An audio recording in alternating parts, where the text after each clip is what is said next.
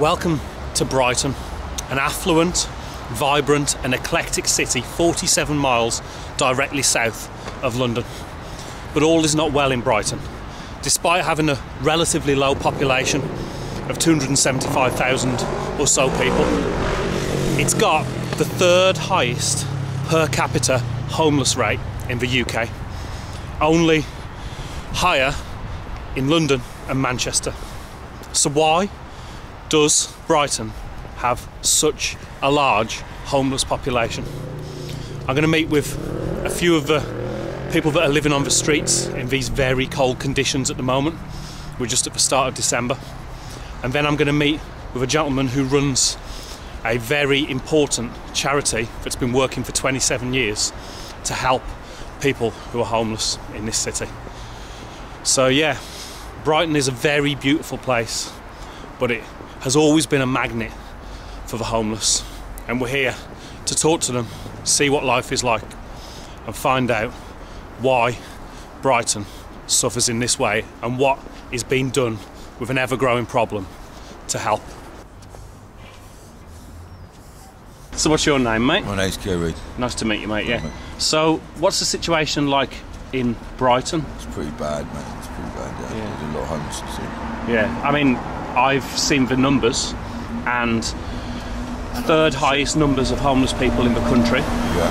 after London and Manchester with much larger populations. Why do you think that is? Uh, I think there's a big drug problem. Big drug problem. Yeah. And I think it causes a lot of problems for people who sort of left their uh, their original city.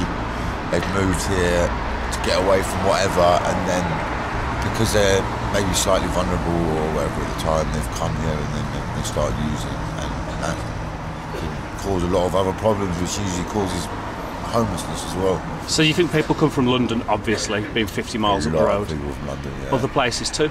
other places all around the country, all around the country, because it's kind of like end of the line, kind of come to the sea. You think you can get a bit of tranquility, but Can you?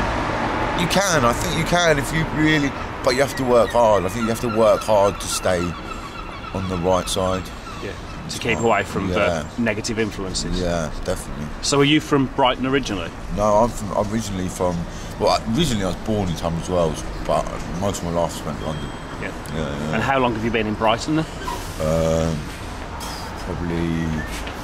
Uh, I've been about. Um, I've probably been in Brighton three years in total. So there's one statistic that's really jumped out at me about homeless people. A lot of the time, people see homeless people with addiction and alcohol problems, and they think that that's the root cause of homelessness. But you have to understand that this is a multifaceted problem, and that 47% of homeless people suffer from mental illness. Now, that's compared to 25% of the general populace, those that aren't homeless. Depression coming from mental illness is a huge part of this problem. But also, depression in wider society can lead to people falling into the traps of homelessness. I do recommend that you listen to the paid partnership that is supporting this video today because I genuinely think that it can help you if you're suffering with any of those problems. This is a paid partnership with BetterHelp. Is something interfering with your happiness or preventing you from achieving your goals? Regardless of if you're struggling with a clinical mental health condition like depression or anxiety, or if you're just sometimes struggling to deal with the day to day realities of life, therapy can give you the tools you need to approach life in a very different way. And that's why I'm excited to tell you about BetterHelp. I'm not ashamed to admit that I have had mental health struggles at times in my life.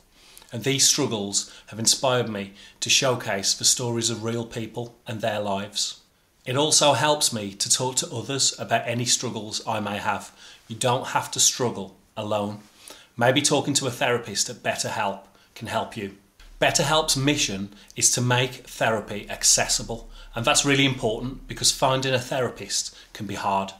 BetterHelp is a platform that makes finding a therapist easy because it's online, it's remote, and by filling out a few questions, BetterHelp can match you to a credentialed therapist in as little as a few days.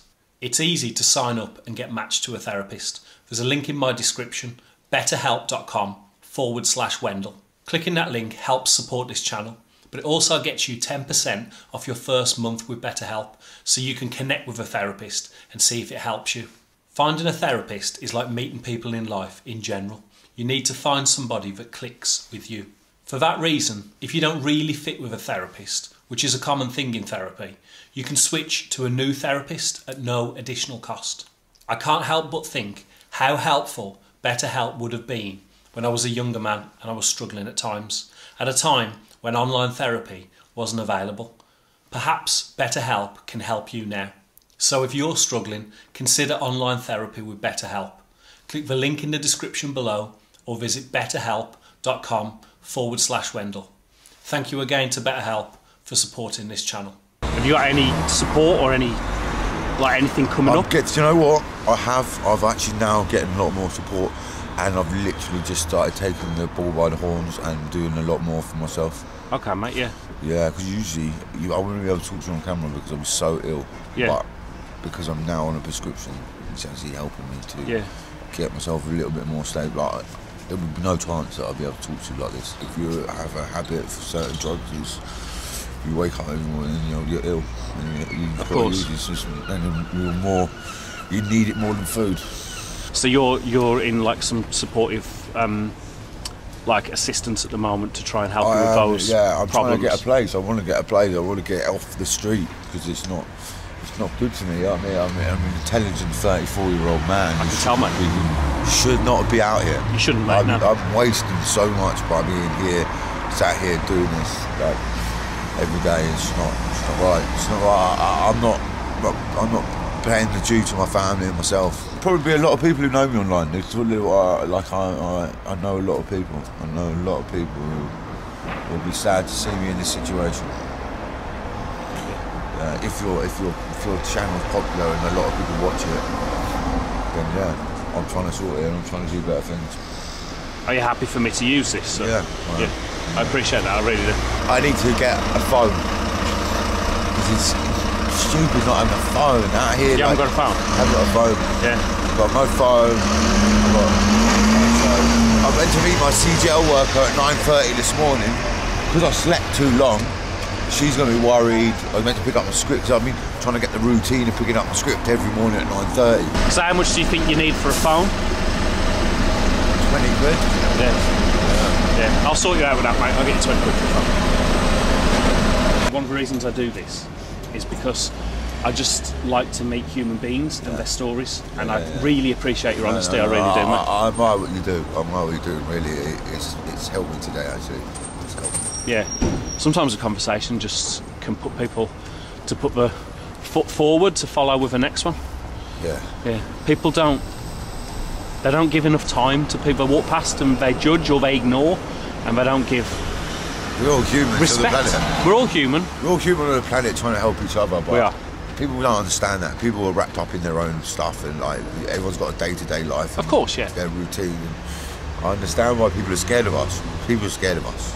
They're like because there's some of us. A lot of us ain't nice. A lot of us are so angry with society that we just can't treat society back nicely. Uh, no, as well. Yeah. I just think if we can connect with other human beings, especially when they are living a slightly different life to us, then we can we can grow as people. Yeah. I really believe that. I think that too. I think there's so much strength in connection. Connection is so important. I appreciate it, mate. I really do. Yeah. I wish you all the best, mate. Yeah, you mate. Okay.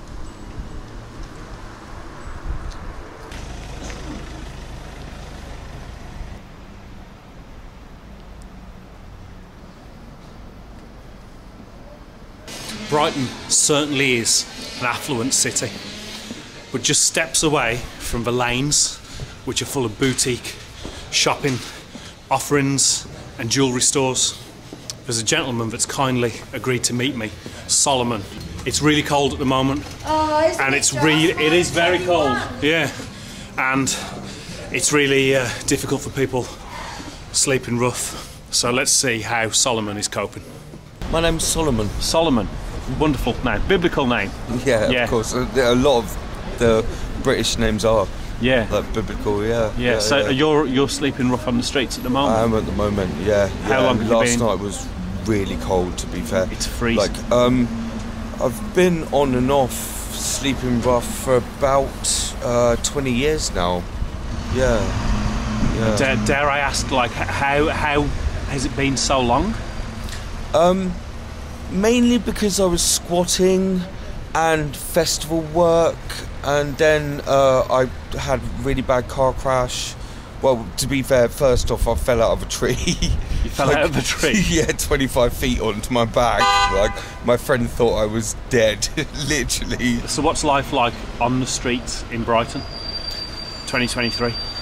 Um, it's a lot worse than it used to be, mate. In what Like, way? We- Well, I got here about 17, 18 years ago, and it it used to be really shanty, and everyone was like talking positive and like how they could change their lives and we could change the world and like you know just like one love. And now it's just like really sort of just it seems a bit uh, callous and harsh and like there's a lot of London lads who've come down and they're all trying to make money and there's a lot of crack and smack issues and that's it. Like I, I'll sit on the street and I've gotten over my issues. Well I'm getting over my issues. Obviously you're never gonna fully like get past uh, an addiction like that. Um yeah, I'm getting over my addiction issues, and like, I, I get asked four, five, maybe six times a day if I can find a bit of white, and it's like, I don't want that in my life anymore. There's all these lads who are just shouting their mouth off, and it, yeah, it got callous and harsh.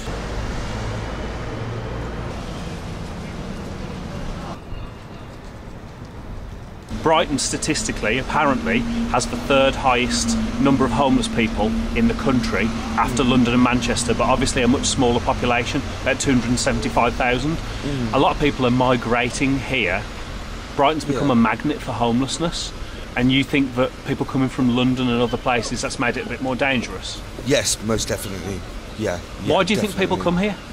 Um, I guess it's just uh, the the sort of lure of the seaside and like it, it it's like um, it, it seems like the rest of the country treats it like the Costa del Sol. Do you get me? Like um, I I travelled along the coast from Hastings. Uh, accidentally bumped into someone here Yeah. and ended up sort of sticking about. It's a beautiful city and I love it. Um, but it's just got a really dark underbelly Okay. and it will swallow you up. Really? Brighton. You've yeah. seen it swallow a lot of people up. I've seen it kill a good few people. Like I've I've had a number of my friends who have passed because of various issues in Brighton. Yeah, yeah, and some really gorgeous people I've lost. Yeah, I mean, if I can be candidly honest, You I, don't. You can be as candid as you want to or don't want to be. I took ketamine for 17 years. I smoked weed for about 20 years. Um, I've injected speed, methadone, cocaine, heroin. I've probably within the last two months come off of most of the things. I mean, like the ketamine and the weed was about three years ago. Um, the crack cocaine and heroin was probably about two and a half months ago. I'm just starting to titrate down off my alcohol from two litres of vodka to about six cans of Desperados a day. Yeah. So actually, Yeah. Yeah. uh, yeah. Yeah. So actually, I'm doing really well, and I'm really proud of myself. The most important thing that I feel about Brighton is like there is a lot of good people around. There are sorry, there are a lot of good people around, and there is a lot of love, and it's still quite beautiful, but it just got a bit weird and dicey, as I said. Yeah. Yeah. Yeah. It's got a little bit more of an edge than it used to have. Very much edgier. Yeah. A lot more. Yeah. Yeah. Yeah. Very much edgier. I appreciate it, mate. Thank you so much for talking to me. Yeah. Yeah. Solomon. Big Yeah. man. Thank you so much for your honesty as well. No Thank worries. you. Yeah. Well, as candid as I can be.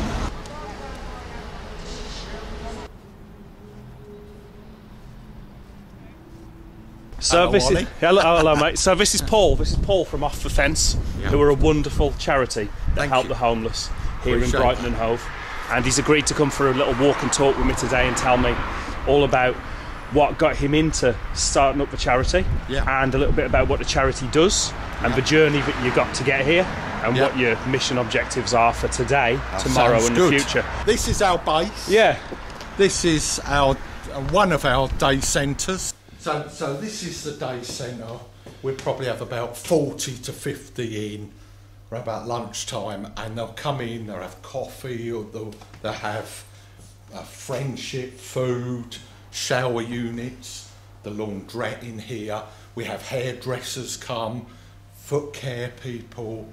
Uh, they're able to get every bit of clothing you can imagine uh, and just keep them alive long enough so that we can get them to the next stage and, and on and doing the business. This is like number four storeroom, and we get this time of year all the kids to donate.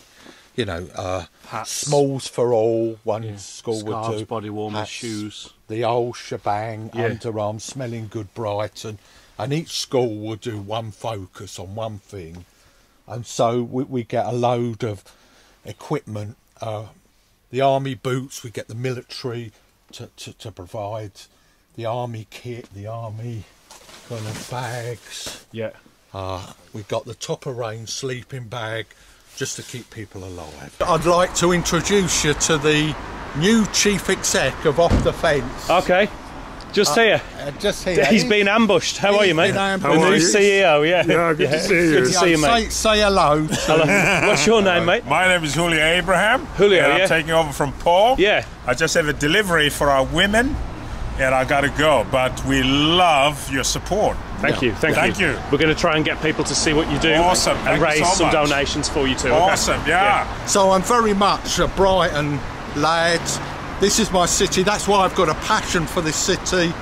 I took a lot out of the city. Uh, you know, my old man, dad, he, he was a bit of a drinker, and and then the person that really uh, brought us up, my granddad, he he threw himself under the fast train. So my teenage years was a bit rough and Yeah, ready yeah.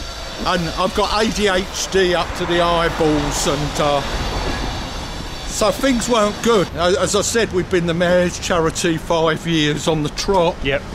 We we've been Brighton and Hove Albion's charity of the year, but we've got a problem now. There's still a major issue on our streets. There's still people that slept out rough at minus five last night. Yeah, it's absolutely it was, freezing. Yeah. It was hard enough getting the car ready to go out this morning at six, to let alone sleeping in it.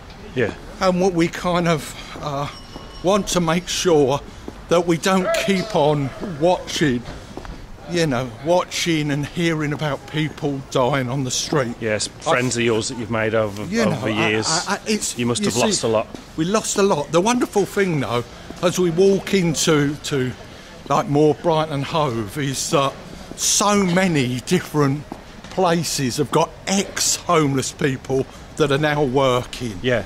And it doesn't take much to make a great deal of difference Yeah. To a life. I, I mean, if people haven't changed their socks in three months, it's quite something to to peel off a pair of socks, and uh, that that's that's a quid, or, or a toothbrush and a toothpaste. If you haven't had something like that, it's amazing what something as simple as that. The number one thing stolen from Boots this time of year is sanitary products. So Yeah. we make sure that we're stocked up when our teams go up at, out at night with sanitary products and the, the whole shebang so we can make sure that nobody is left desperate. So you scour the city on the evenings. Yes, we, we've looking got for teams people. going out. Yeah. We have the street sheet that people are able to get, that is able to give them everything from where they can go, where they can get help.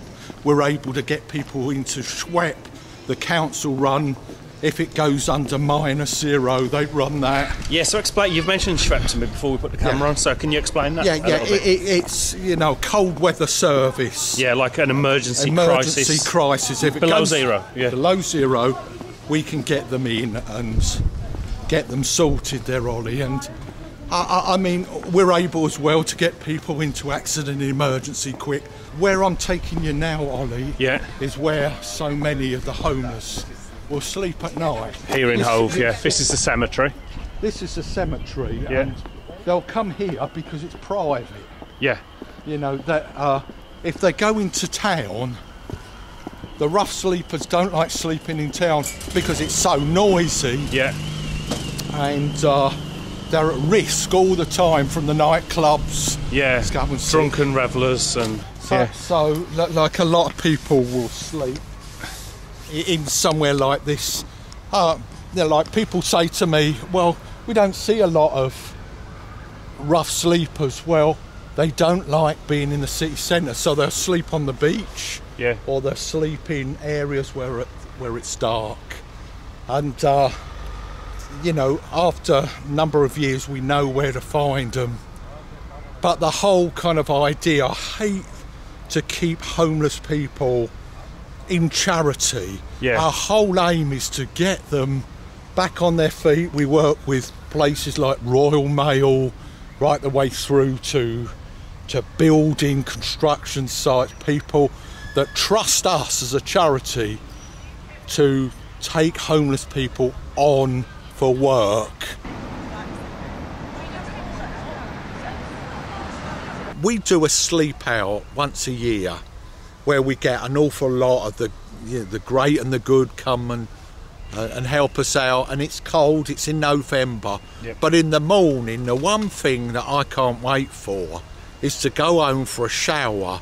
Hot shower, a- brush and, and a nice bed can Yeah. you imagine sleeping out week in week out you know not knowing where not knowing if you're going to to be able to uh, to, to to live to, to, to survive. I mean, we have got some great agencies in the city, and uh, there's there's a lot that is being done, but there's so many families now on the street.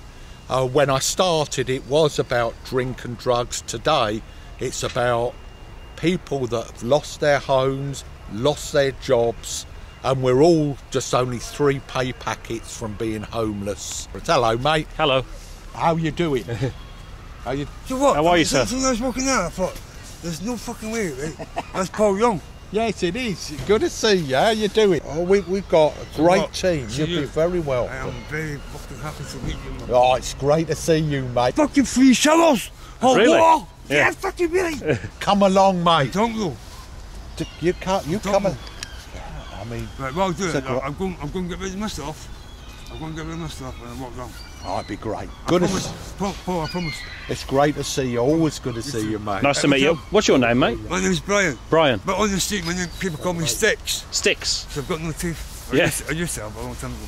for uh, many of them that, that they'll live with issues uh, right the way through. I mean, they're never, you know, a lot of them, you know, were able to rehouse, get themselves somewhere properly to live. And, and go on to do great jobs. I mean, a lot of them support us now Yeah. uh, after you know 27 years there are some that are never going to break from the habit Yeah. never you know the the drink and the drugs have got them for, for a good for a good time. Uh, let me just give this. Antifreeze is open. Uh, just round the corner in another half an hour. Come come round. They've got all the gear that you might need. I don't know if you've been there yet, but uh, uh, did they give you much? Were they able to help? Project Antifreeze on Portland Road. They'll keep your sleeping bags, boots, you name it, they've got it. Love to see you. That young lady that we saw there, she's probably will get an amount of money and she's part of a group that are professional beggars.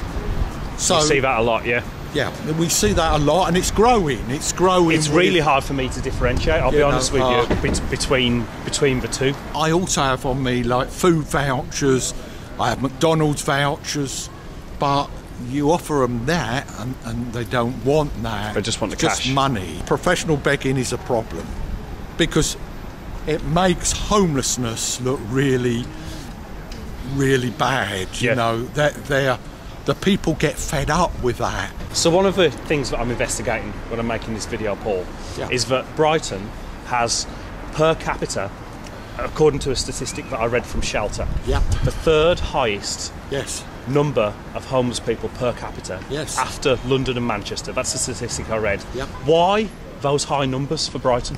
Well, well, there's a number of reasons for that. I, I mean, uh, first off, if you're homeless and you're living in Scotland, well, you can have the choice of being under snow now or being uh, a lot warmer, even though it is minus five on the coast of Brighton.